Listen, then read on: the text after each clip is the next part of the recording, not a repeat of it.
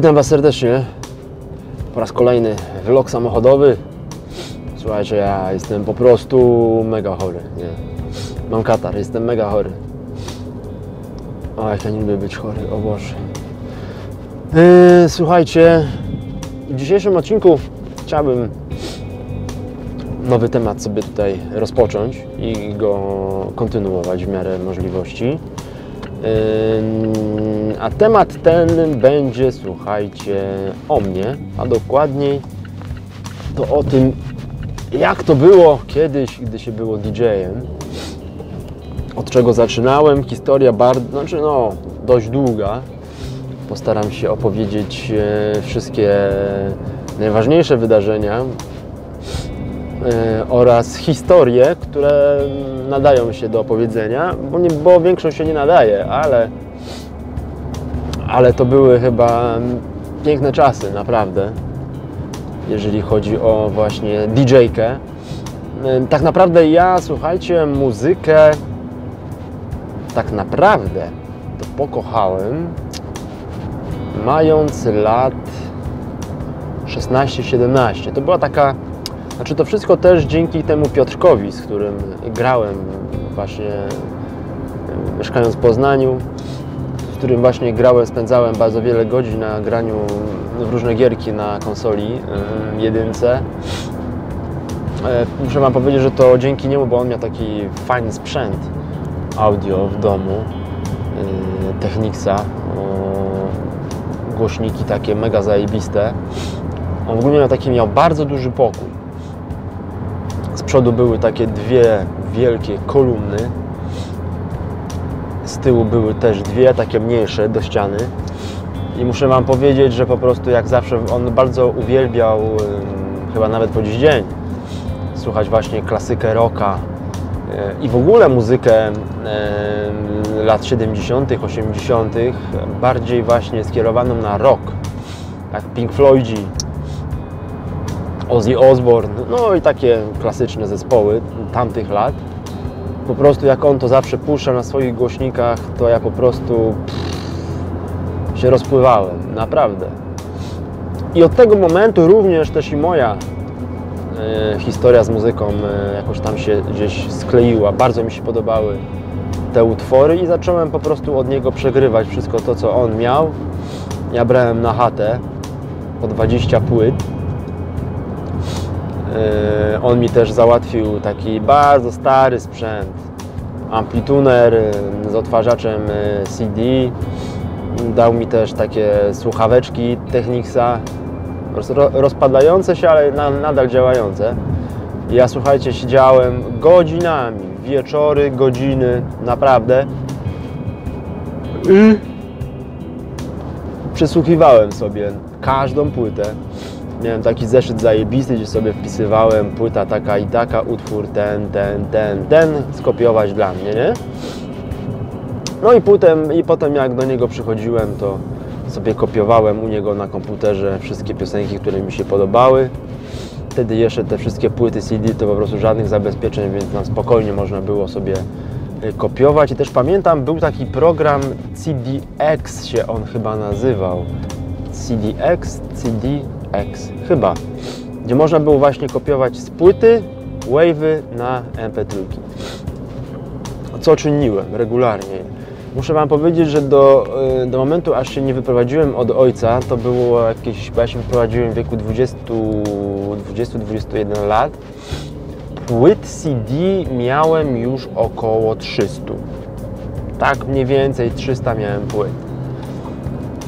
A swoją przygodę z DJ-ką, dys DJ-ką, bo tak naprawdę yy, wszystkie, wszystkie osoby, które grają yy, w klubach, na dyskotekach i to grają nie swoje utwory, ale czyjeś utwory i tam w jakiś sposób dość prymitywny je miksują w sensie takim, że są przejścia tylko między utworami, to to są, słuchajcie, dys DJ-e, a więc dyskotekowi DJ-e. Ten y, podział na DJ i na dys DJ, jak ja dobrze pamiętam, to już kurwa obowiązuje od wielu, wielu lat, naprawdę. Ja y, na początku byłem dys DJ-em, choć też nie do końca, Bo tak sobie pomyślałem, y, że kurwa, mam tyle fajnej muzyki lat 80., dziew- znaczy w 90. też, ale w szczególności lata 70., 80., stare hiciory, stare przeboje. Poznałem takiego fajnego kolesia, nie pamiętam już nawet jak on miał na imię, kurwa, to dawne czasy były, który miał, który miał e, sprzęt audio, taki nawet wypasiony i postanowiliśmy, słuchajcie, że zaczniemy grać na studniówkach e, w szkołach. Ogólnie będziemy obsługiwać szko szkoły. No i czekaliśmy na pierwsze zgłoszenie około, nie wiem, 4 miesięcy. Jakaś mała szkoła się trafiła, jakiś przyczółek dla bezdomnych. Nie, żartuję oczywiście. Nie, to była normalna szkoła podstawowa, bardzo, bardzo mała, gdzieś tam na uboczach. Im bardziej chodziło o to, żeby po prostu zrobić tam jakąś dyskotekę dzieciakom. Oczywiście żadnych pieniędzy nie braliśmy, no bo stwierdziliśmy, kurwa, mała szkółka, tam chyba nie wiem, setka dzieciaków jest, to nie będziemy. O Jezus, pieniędzy brać. Wybaczcie mi, mi mój ziew, ale naprawdę jestem mega chory, a dopiero wracam z roboty. A było ciężko dzisiaj w robocie, o kurwa, z nosa się leje, gorączka, masakra. No i od tego się mniej więcej zaczęło. Yy, Postanowiliśmy, a że miałem tam jakieś już znajomości, yy, to postanowiłem odezwać się do mojego jednego kolegi, Radosława, który załatwił mi spotkanie z właścicielem sklepu w Poznaniu. Sklep się chyba nazywał Rift. Rift, nie wiem, nie pamiętam. Wybaczcie. Sklep to był taki jedyny sklep w tamtych czasach, były lata 90., końcówka lat 90., lata 90. Końcówka? Co ja pierdolę? Ogólnie, no dobra, lata 90. w Poznaniu. Wtedy też w Poznaniu istniało takie coś jak jedyne takie radio z muzyką klubową. Nie wiem, czy ktoś kojarzy, ktoś mieszkał. To było się nazywało radio chyba na Maxa. Radio Max. Wiem, że w piątki zawsze było y, prowadzenie, prowadzenie audycji były przez Calvi and Remy. Y, no i też jedyny sklep y, ze sprzętem dla DJ, z głośnikami, z mikserami, z odtwarzaczami płyt. Był właśnie też w Poznaniu. Tylko nazwy nie chcę skłamać. Riff chyba nie, chyba on mi się pierdoli ze Szczecinem, ale dobra, miesza z tym. Tam poszedłem na spotkanie z właścicielem, zapytaliśmy się, czy byłaby możliwość właśnie wypożyczania sprzętu ze światłami, bo chcieliśmy współgrać na weselach. Muszę Wam powiedzieć, że tutaj problemów chyba żadnych nie było. Yy, oczywiście interweniował mój kolega Radosław. Raczej tak mi po prostu by nie użyczył tego sprzętu. No, no i sobie co, wypożyczy, znaczy w sensie on był w sklepie, natomiast, znaczy on nie był w sklepie, bo ten facet miał takie magazyny specjalne w tych magazynach niektórych po prostu miał jeszcze zalegający jakiś tam sprzęt, y, albo jakiś, y, który tam był, nie wiem, do zwrotów, albo no, z którym, którym coś się tam działo, nie? No i powiedział, że ok, będziecie mieć, będziecie grać, będziecie ten, to będziecie grać Wow.